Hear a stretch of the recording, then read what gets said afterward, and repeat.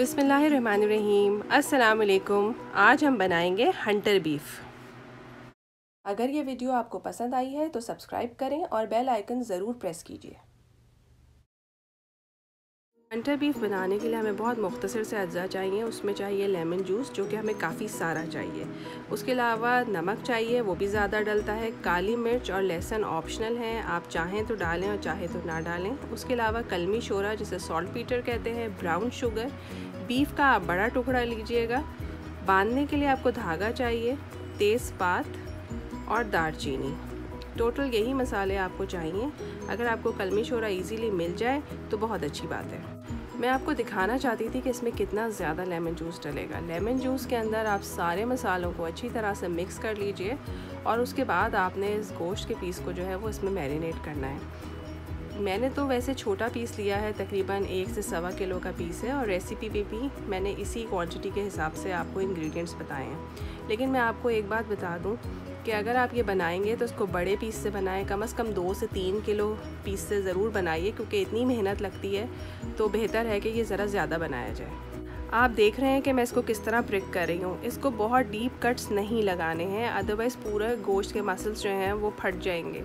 आपने बिल्कुल हल्का हल्का इसको प्रिक करना है ताकि मसाले को अंदर जाने की जगह मिल जाए। बहुत ही हल्के हाथों से आपने इसे प्रिक करना है। इसको आपने अच्छी तरह से मैरिनेट करना है। मैरिनेट करने के लिए आपको जो लेमन जूस है और कलमी शोरा है, वो बहुत इंपॉर्टेंट रोल प्ले करेगा इसको गलाने के लिए। और बाज़ जगहों पे कलमी शोरा नहीं मिलता, अगर कलमी शोरा ना मिले तो फिर भी आप सेम इंग्रेडिएंट्स के साथ इसको मैरिनेट कर सकते हैं। लेकिन फिर जब आप इसे पकाएँगे तो वो रोस्ट बीफ बनेगा और हंटर बीफ नहीं कहलाएगा वो। तो जिस जगह पे कलमी शोरा मिल जाए वो ज़रूर बनाएँ इसको। ये देख लीजिए, मैंने इसको अच्छी तरह से प्रिक कर लिया है और प्रिक करने के बाद जो है, अब मैं इसको धागा बाँध दूँगी। हमारी एक बहुत अच्छी दोस्त हैं कराची में, इरम हुसैन। उन्होंने हंटर बीफ की फरमाइश की थी। वैसे तो जहाँ हम रहते हैं, वहाँ पे सॉल्ट पीटर इजीली नहीं मिलता। इसके लिए ऑनलाइन आपको ऑर्डर करना पड़ता है, लेकिन इंडिया पाकिस्तान बांग्लादेश इन सब जगहों पे ये किसी भी पंसारी की दुकान से आराम से मिल जाएगा। और इसकी क्वांटिटी आपने बहुत ज़्यादा यूज़ नहीं करनी है। एक किलो में दो टेबल स्पून कलमी शोरा इनफ होता है। तो आप जब इसको लेमन जूस के साथ मिलाएँगे तो ये अपना रिएक्शन फ़ौर ही स्टार्ट कर देगा। आपने इसको अच्छी तरह से, ये देख लीजिए सिक्योर करके धागे से मैरिनेट करके कम अज़ कम तीन दिन के लिए फ्रिज में रखना है। जी, बिल्कुल सही सुना है आपने। इसको आपने तीन दिन तक रेफ्रिजरेट करना है। आप इसे मैरिनेट कीजिए और तकरीबन दो से चार घंटे इसे बाहर रखिए और जिस वक्त आप रात को सोने लगें, इसे फ्रिज में डाल दीजिए। उसके बाद आप तीन दिन इसे फ्रिज में ही रखें और हर दिन इसे निकाल के उल्टाते और पलटाते रहिए। तीसरे दिन जो है, हम इसका कुकिंग प्रोसेस स्टार्ट करेंगे। जी हंडर बीफ बनाना इतना भी आसान नहीं है। नेक्स्ट थ्री डेज़ तक आप इसे रोज़ बाहर निकालेंगे और उसके बाद इसे हिलाए जुलाएँगे और वापस रख देंगे।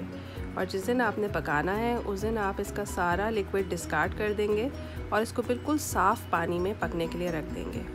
मैं इसको प्रेशर कुक भी करती हूँ और प्रेशर कुक भी तकरीबन एक घंटा करती हूँ। अदरवाइज़ आप चाहें तो साफ़ पानी में इसको पाँच से छः घंटे के लिए पकने के लिए रख दीजिए मीडियम टू लो आँच पे।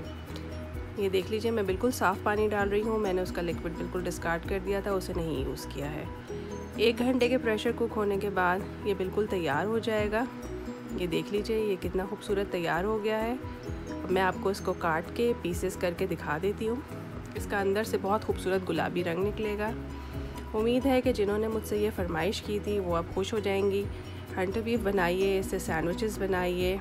बड़ी ईद पे गोश्त का बिल्कुल सही और मज़ेदार किस्म का इस्तेमाल कीजिए। उम्मीद है कि आपको ये वीडियो पसंद आई होगी। अगर ये आपको पसंद आई है तो इसे लाइक कीजिए, शेयर कीजिए और सब्सक्राइब कीजिए। इन ताला फिर मिलेंगे एक नई वीडियो के साथ। अल्लाह ताला हमारे लिए हर मौके पे आसानी करे। आमीन। अल्लाह हाफिज़।